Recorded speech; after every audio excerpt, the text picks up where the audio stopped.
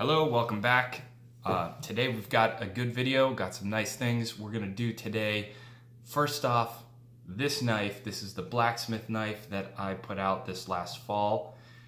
I'm going to make a new sheath for this. I wanna put it in a sheath that is actually made for the knife and not just a sheath that I could get that worked. So today what I'm gonna do, this knife is part partially done. I'm gonna walk you through the steps that I take when I design and make it a sheath. Are you ready?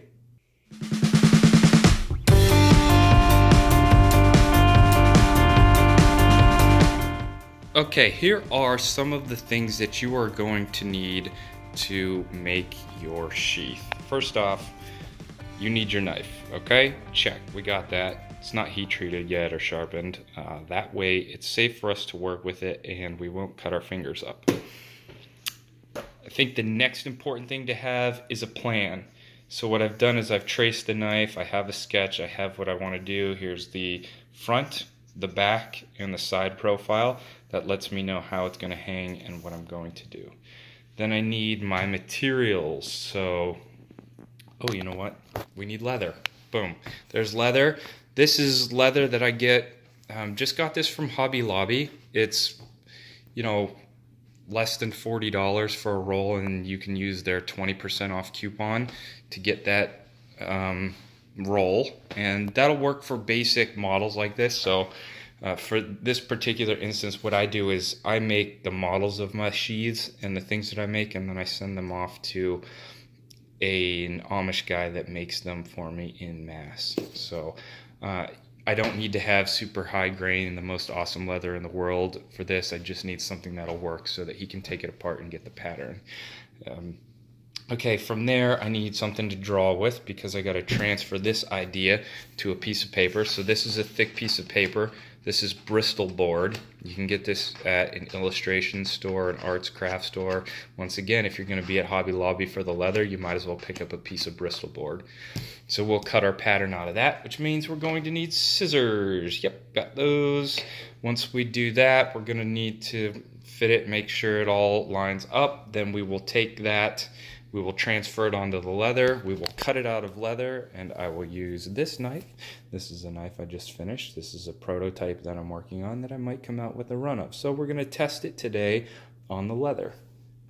Once we get the leather cut out, we will need to uh, put some, you know, we'll, we'll mark our holes, we'll mark our cut lines, we'll mark our stitching lines, we'll sew it together so we've got needles, we've got glue, I use this Elmer's rubber cement, works really well. It's got a really great hold. This will help hold our piece together while we're stitching. Once we get it stitched up, or I'm sorry, once we get it glued up before we stitch it, we will dye it. You know, it's the new year. You gotta get on that diet. We'll use this wool dauber to apply the, the dye. These work really well. You can get these pretty cheap on Amazon. Uh, little stamps. These are stamps, you know, for decorating the the edges. So I've made this one right here out of an old tap set. Uh, this one's a shader, so we can put some definition along this line. We can put those X's in.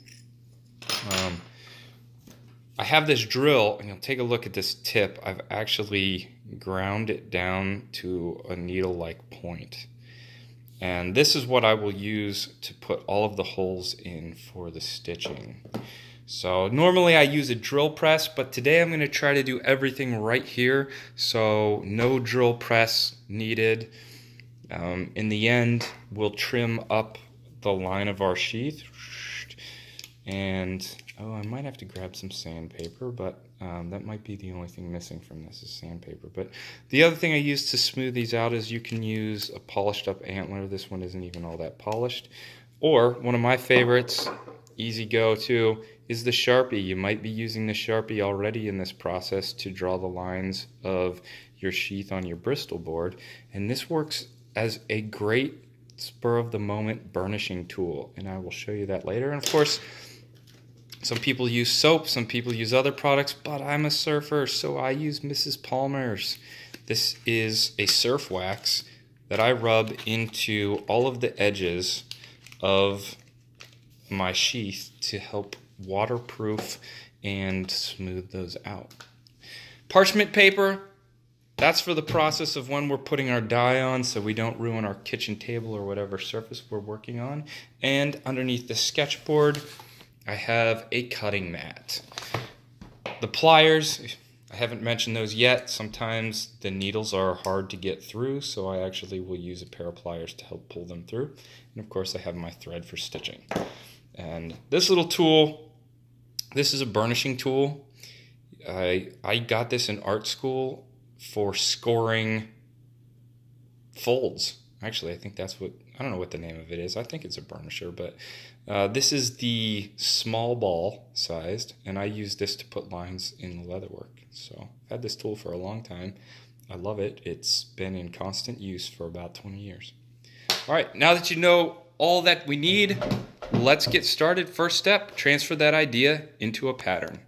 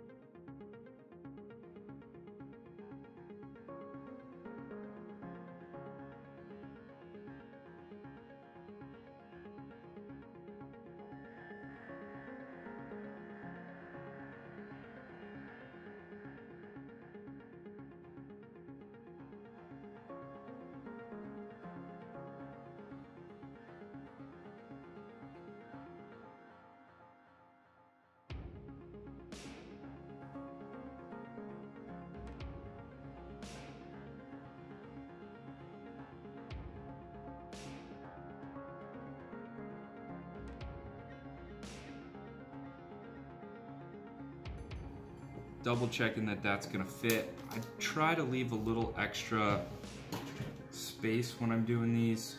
I'm gonna cut out a pattern and that's because I want to have excess. This is a 3D piece and this is a 2D piece of paper so you end up needing a little bit more. So this is a score, so what this does is it damages the paper fiber along that line. It weakens it and it allows me to make a nice easy fold right along that line.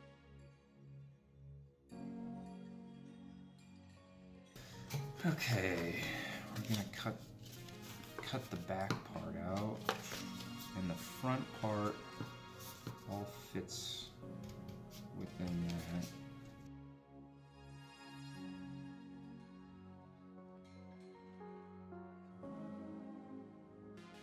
Okay, now we need to make sure that we don't screw it up. So this is the front right here. So I'm gonna label this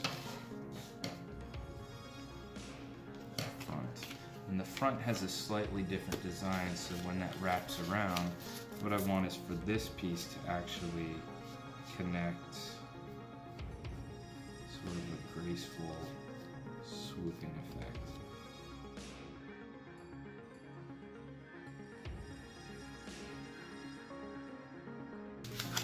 We put it in the paper template, roughly where we want it.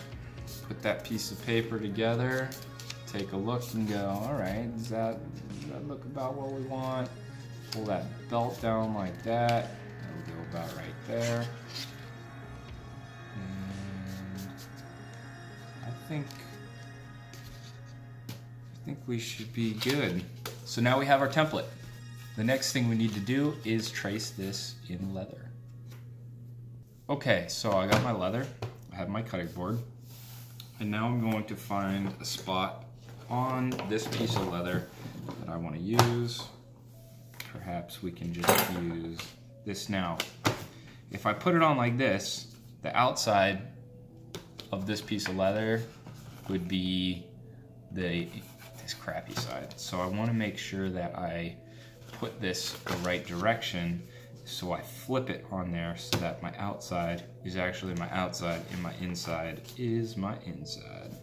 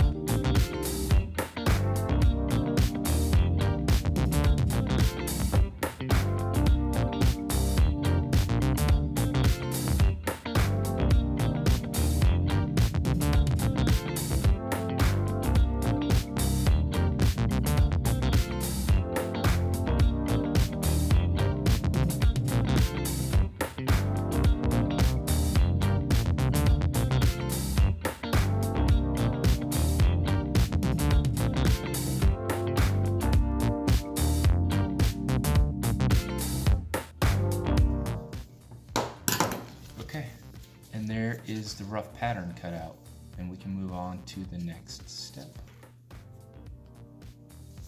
Okay, so let's just test fit the knife, see if everything's going well. Yeah, it looks like it's gonna be, looks like it's gonna be okay. I may have not made this long enough. We will have to see.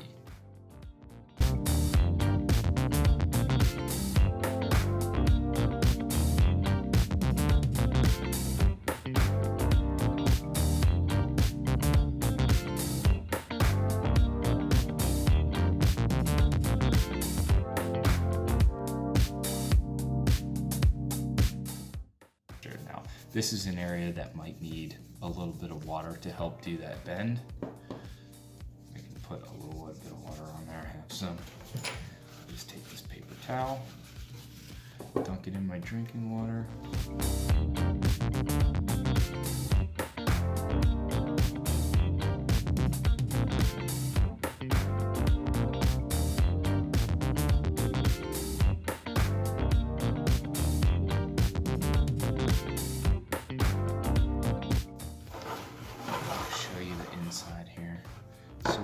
Doing that, I'm gonna put that in, see how deep I can go. And that works, that works pretty well there. I'm gonna take a look at it. Go, okay, I like that. I like where that fit is. And now I can take a I can take a pen or a sharpie or something. Just mark mark that line. Because that is going to create our welt, okay? And so this piece that we cut off, that was that excess piece, we have that right here, and I can line that up. It's already got the general kind of shape of the exterior and the exterior doesn't matter quite as much because we can trim that later. And it's it's actually not a bad idea to have a little a little extra. It's this inside shape that really matters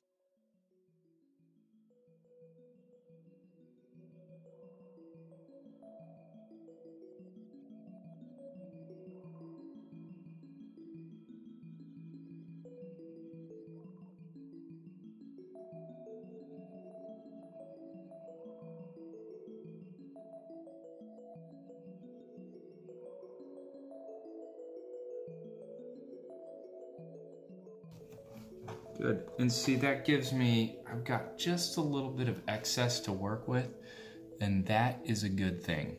You can trim it down, you can't add more to it later.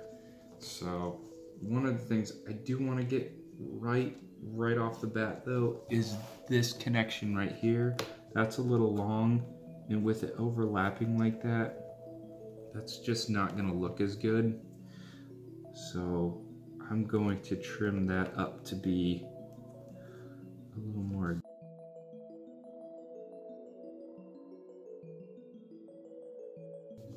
There we go. That's good. There's just a little bit of room here. That'll allow that leather to fold over and it'll create a nice seal. I'm gonna show you. I don't go right all the way to that fold. That way the leather can actually wrap around that, okay? One of the tricks I do is as it gets closer to the point, I like to thin out that welt a little bit. Just to make it ever so slightly thinner. See? So that that fits a little better. Now you don't want to thin it out too much because you still want it to protect the thread that's going to go through there. But there we go. Nice welt. Alright, so now that I've got that welt sort of placed out, I'm to set the knife in and I'm to refold this top piece over and make sure that with the welt in, great, that's great. I'm happy with that. Let's just get some dye on this bad boy.